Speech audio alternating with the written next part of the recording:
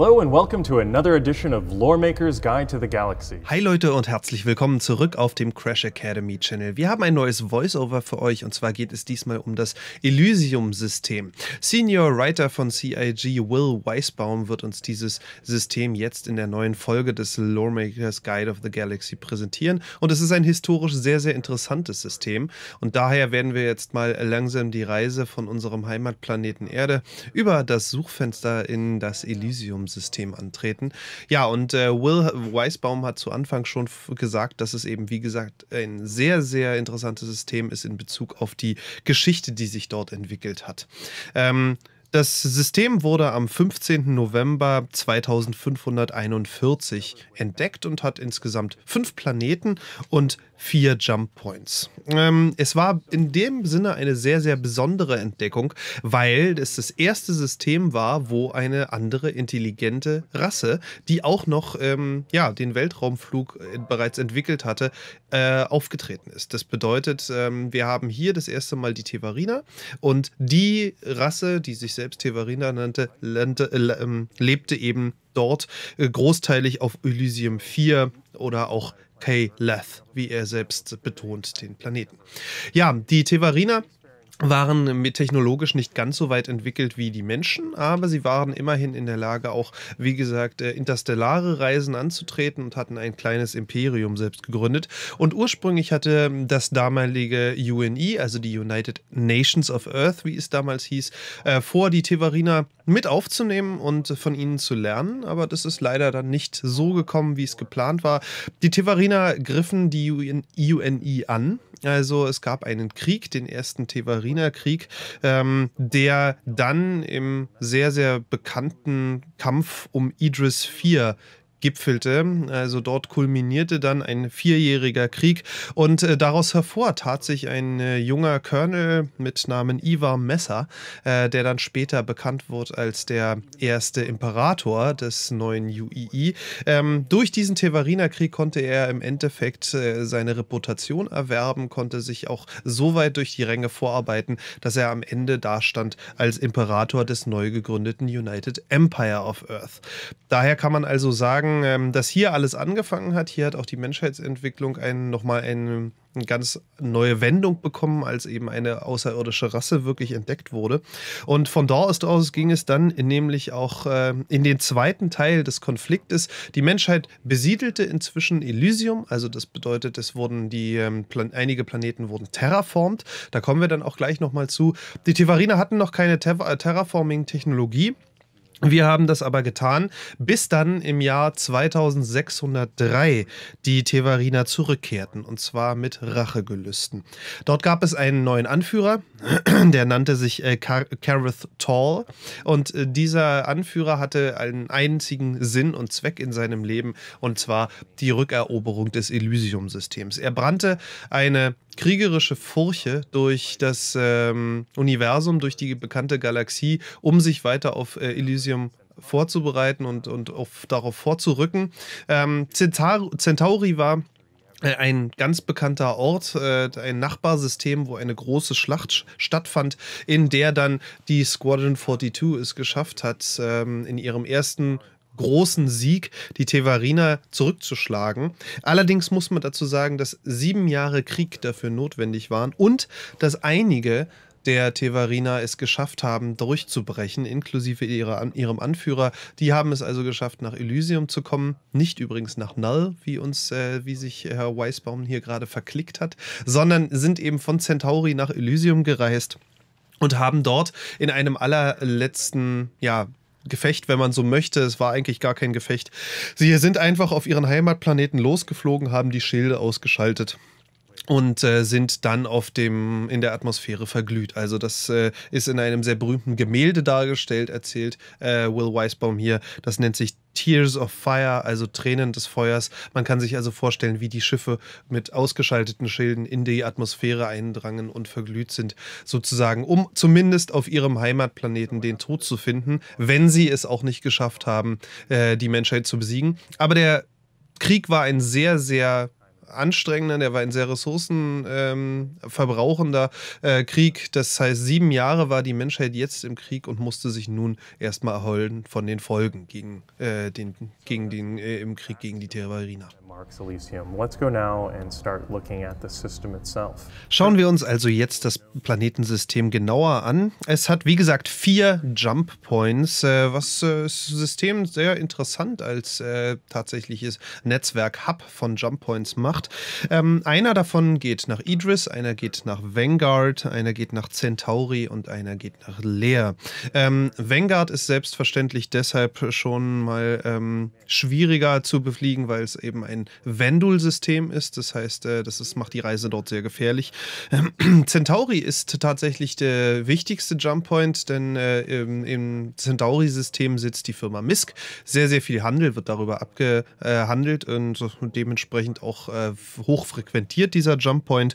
Ähm, Lea ist ein Outsider-System, ein Outlaw-System, wo ähm, sich tatsächlich, was sich tatsächlich nicht innerhalb der echten UEE-Kontrolle befindet und äh, was Reisen dorthin auch äh, zu einem besonderen Erlebnis macht. Und ja, Idris ist wie gesagt das System, wo der große Kampf stattgefunden hat im ersten ähm, Tevariner-Krieg und das versucht sich immer noch davon zu erholen, dieses System. Ja, und von dort aus gehen wir dann zum Zentralstern. Das ist äh, bei Elysium ein F-Type Main Sequence Star, ähm, der etwa die eine bis 1,4-fache Masse unserer Sonne hat.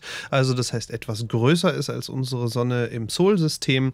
Ähm, er hat deshalb eine etwas geringere Lebensspanne. Das ist allerdings äh, auf galaxisweite Zeit gerechnet etwa mit zwei bis vier Milliarden Jahren immer noch natürlich sehr, sehr lange.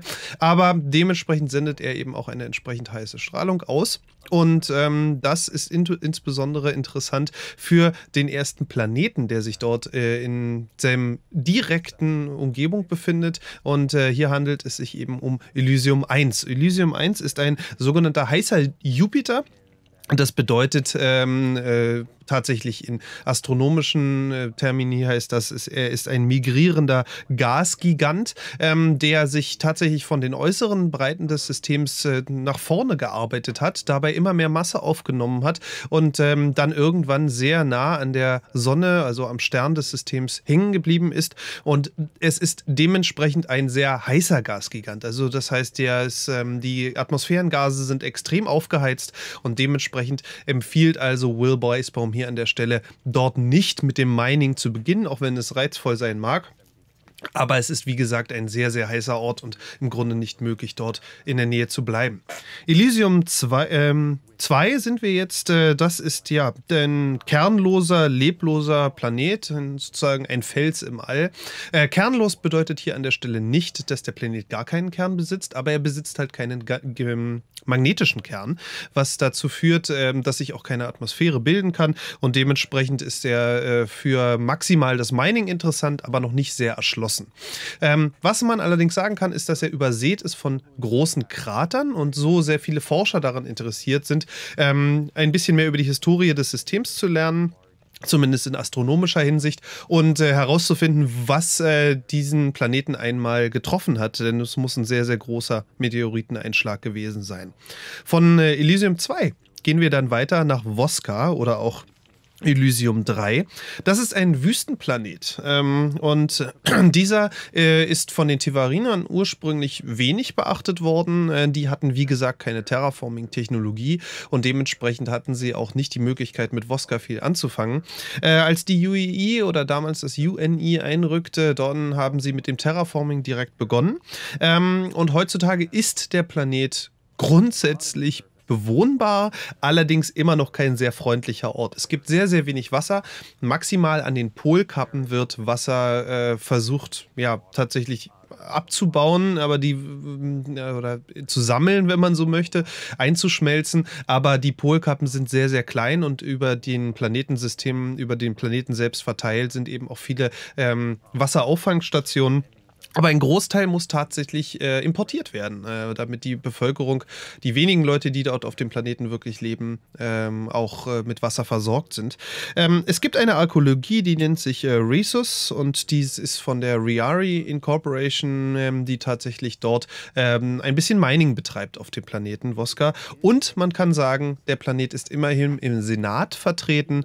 Das bedeutet, er hat eine Repräsentanz, auch wenn nur sehr, sehr wenig Leute tatsächlich darauf leben desert world, we're to head probably to the highlight of the system, which is Jalen. Schließlich kommen wir zum interessantesten Planeten, nämlich Jalen oder auch Elysium 4. Äh, das ist die ehemalige Heimatwelt der Tevariner. Und äh, wie gesagt, bei den Tevarinern wurde sie einst Kaleth genannt. Und ähm, ist äh, der am besten bewohnbarste Planet, auch äh, ohne Terraforming eben bewohnbar äh, im Elysium-System. Er hat ähm, eine große äh, Landezone, die Hauptstadt, Gemma heißt die, und äh, dort befindet sich äh, vor allem, befinden sich vor allem viele touristische Attraktionen heutzutage.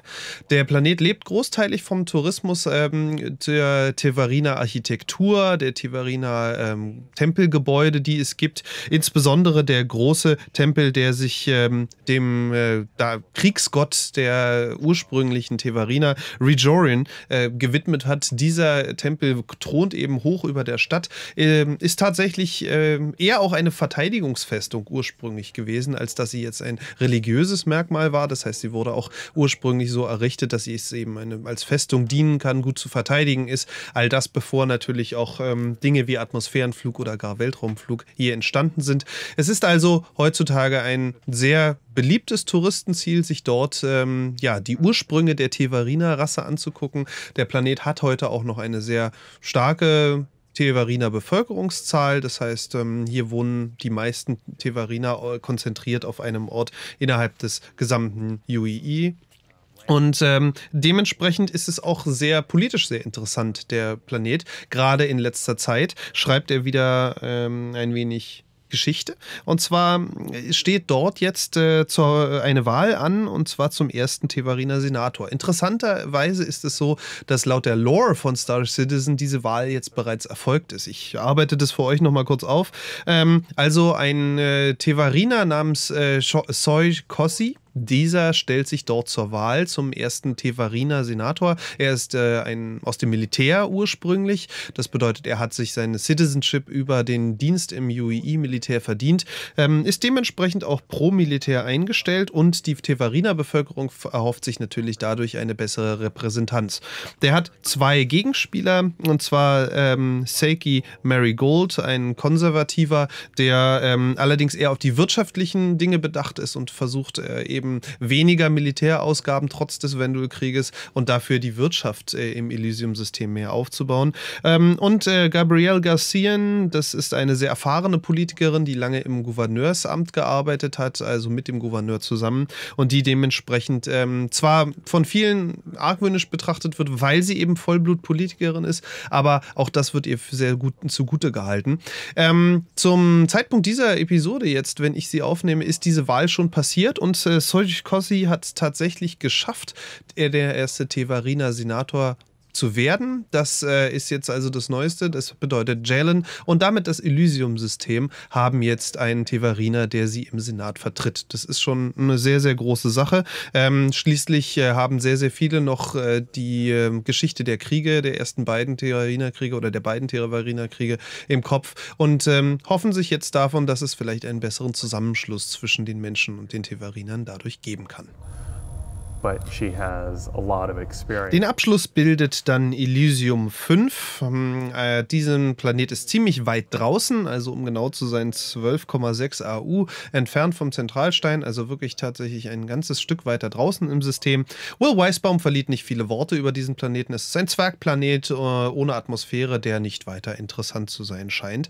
Ähm, in diesem Sinne, das war's für unser Voice-Over vom Elysium-System. Vielen Dank, dass ihr dabei wart. Abonniert unseren Channel, wenn ihr up to date bleiben wollt, was Star Citizen angeht. Äh, liked oder disliked die Episode, schreibt uns natürlich viele Kommentare. Und wenn ihr uns selbst als YouTube-Creator unterstützen wollt für Star Citizen, dann geht doch mal auf unser Patreon-Profil. Das würde uns sehr freuen. In diesem Sinne, bis zum nächsten Mal. See you on the flight deck. Sawyer out.